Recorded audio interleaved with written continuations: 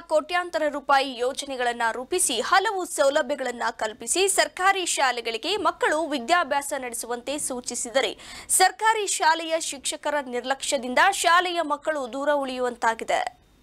ಹೌದು. ಚಿಂತಾಮಣಿ ತಾಲೂಕಿನ ಅಟ್ಟೂರು ಸರ್ಕಾರಿ ಶಾಲೆಯ ಶಿಕ್ಷಕರ ನಿರ್ಲಕ್ಷ್ಯದಿಂದ ತಮ್ಮ ಮಕ್ಕಳನ್ನು ಶಾಲೆಯಿಂದ ಕಳಿಸಿಕೊಡಿ ಎಂದು ಪೋಷಕರು ಒತ್ತಾಯಿಸುವ ಮಾತಾಗಿದೆ. ಶಾಲೆಯ ಶಿಕ್ಷಕರು ಪ್ರತಿದಿನ ತಡವಾಗಿ ಶಾಲೆಗೆ ಬರುತ್ತಿದ್ದು, ಹಾಗೂ ಪ್ರತಿದಿನ ಒಬ್ಬರು ಇಬ್ಬರು ಶಿಕ್ಷಕರು ಗೈರಾಗುತ್ತಾರೆ. ಅಷ್ಟೇ ಅಲ್ಲದೆ ಶಾಲೆಯಲ್ಲಿ ಶಿಕ್ಷಕರು ಇದ್ದರೂ ಸಹ ಮಕ್ಕಳು ಹೊರಗಡೆ ಓಡಾಡುತ್ತಾ ಗೋಲಿ ಆಟ ಆಡುತ್ತಾರೆ. ಇದರಿಂದ ಮಕ್ಕಳ ಭವಿಷ್ಯ ನಾಶವಾಗುತ್ತದೆ ಎಂದು ಪೋಷಕರು ಪ್ರತಿಕ್ರಿಯಿಸಿದ್ದಾರೆ. ಹೇಳಿದಾರೆ ಟಿ ಸಿ ಕೊಡ್ಲಿ ಟಿ ಸಿ ಕೊಡ್ಲಿ ಇವತ್ತು. ನೀನ್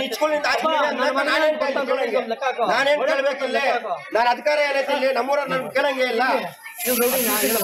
ಅಲ್ಲ ಅವ್ರು ಕೇಳಂಗ ನಾವ್ ಕೇಳಂಗಿಲ್ಲ ನೀವು ಆಚೆ ಹೋಗೋ ಅಂದಾಗ ನಾನೇನ್ ಕೇಳ್ಬೇಕಿಲ್ಲ. ನೀವು ಆಚೆ ಹೋಗೋ ಅಂದಾಗ ನಾನೇನ್ ಕೇಳ್ಬೇಕಿಲ್ಲ?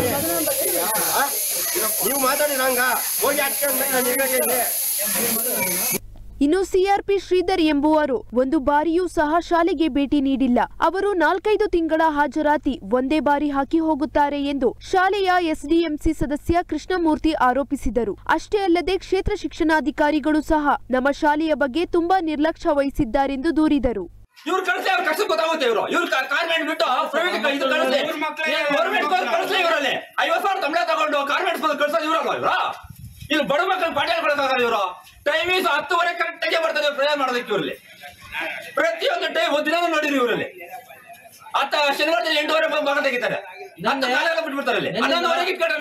ನಾಲ್ಕು ಗಂಟೆ ಹತ್ತು ನಿಮಿಷಕ್ಕೆ. ನಾಲ್ಕು ಗಂಟೆ ಹತ್ತು ನಿಮಿಷಕ್ಕೆ ಎಷ್ಟು ಜನ ಬೇಕಿಲ್ಲ.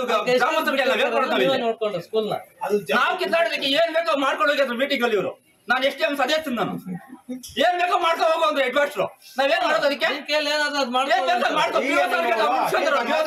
ನಮ್ಮ ಇಲಾಖೆ ಏನು ನಮ್ಮ ಸ್ಕೂಲ್ಗೆ ಜವಾಬ್ದಾರಿ ಇಲ್ಲ. ನಮ್ದು ಲಾಸ್ಟ್ ಬಾರ್ಡರ್ ಇದೆ ಒಂದು ಚೂರು ಜವಾಬ್ದಾರಿ ಇಲ್ಲ. ಅವ್ನು ಸಿ ಆರ್ ಅವ್ನು ಯಾರು ಅವನು? ಅವ್ನು ಸಂಬಳ ಕೊಡೋದು ಗೌರ್ಮೆಂಟ್ ಅವ್ನಿಗೆ. ಈಗ ದಿನ ಬರ್ತಾನೆ ನಮ್ಮ ಸ್ಕೂಲ್ಗೆ ಕೇಳಿ ಅವ್ರನ್ನ. ನಾವು ಇದೇ ನಮ್ಮ ಸ್ಕೂಲಲ್ಲಿ ನೋಡಿ ನೋಡಿದ್ರು ಫೋನ್ ತೆಗಿತಾ ಇಲ್ಲ ಅವ್ನು. ಬರ್ತೀನಿ ಅಂದ್ರೆ ಬರ್ಲಿಲ್ಲ ಇನ್ನ ಕಣ್ಣಲ್ಲ ಕಣ್ಣೆಲ್ಲ ನೋಡಿಲ್ಲ ಇಲ್ಲಿ. ಇವ್ರು ತಗೊಂಡೆ ಬುಕ್ ಕೊಡ್ತಾರೆ ಅವ್ರಿಗೆ ಸೈನ್ ಹಾಕೋದಕ್ಕೆ ತಳವರಕ್ಕೆ. ಡಿಸಿ ಆಫೀಸ್ ಡಿಸಿ ಅಲ್ಲಾದ್ರೆ ಅಲ್ಲೆಲ್ಲ ಬಂದು ನಾಲ್ಕು ತಿಂಗಳು ಸೈನ್ ಹಾಕೊಡೋಗಿದೆ ಅವತ್ತು.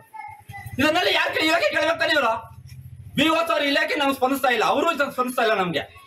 ನಮ್ಗೆ ಡಿಸ್ಟ್ರಿಕ್ಟ್ ಲೆವೆಲ್ ಏನೋ ಸ್ಪಂದಿಸಿದ್ರೆ ಒಂದು ಹೋಯ್ತಾನೆ ಅಷ್ಟಿನ ಅಲ್ಗೋರು ಹೋಗಿಲ್ಲ ನಾವು ಇನ್ನ ಹೋಗ್ಬೇಕಾಗುತ್ತೆ ಅಷ್ಟೇ. ಇನ್ನು ಗ್ರಾಮ ಪಂಚಾಯಿತಿ ಸದಸ್ಯ ನರಸಿಂಹಮೂರ್ತಿ ಮಾತನಾಡಿ ನಮ್ಮ ಶಾಲೆ ತಾಲೂಕಿಗೆ ಗಡಿಯಲ್ಲಿರುವುದರಿಂದ ಶಿಕ್ಷಣ ಇಲಾಖೆಗೆ ಎಷ್ಟು ಬಾರಿ ದೂರು ನೀಡಿದರೂ ಇದುವರೆಗೂ ಯಾವುದೇ ಸ್ಪಂದನೆ ನೀಡುತ್ತಿಲ್ಲ. ಸರ್ಕಾರದಿಂದ ಹಲವು ಯೋಜನೆಗಳನ್ನು ನೀಡುತ್ತಿದ್ದರೂ ಶಿಕ್ಷಕರ ನಿರ್ಲಕ್ಷ್ಯದಿಂದ ವಿದ್ಯಾರ್ಥಿಗಳು ಶಾಲೆಯಿಂದ ಹೊರಹೋಗಲು ಮುಂದಾಗಿದ್ದಾರೆ. ಮುಂದಿನ ದಿನಗಳಲ್ಲಿ ಶಾಲೆಯು ಮುಚ್ಚುವಂತಾಗುತ್ತೆ. ಇದೇ ಮುಂದುವರೆದರೆ ಮುಂದಿನ ದಿನಗಳಲ್ಲಿ ಪ್ರತಿಭಟನೆ ಮಾಡಲಾಗುವುದು ಎಂದರು. चलपति अमोक्टी वी चिंतामणि।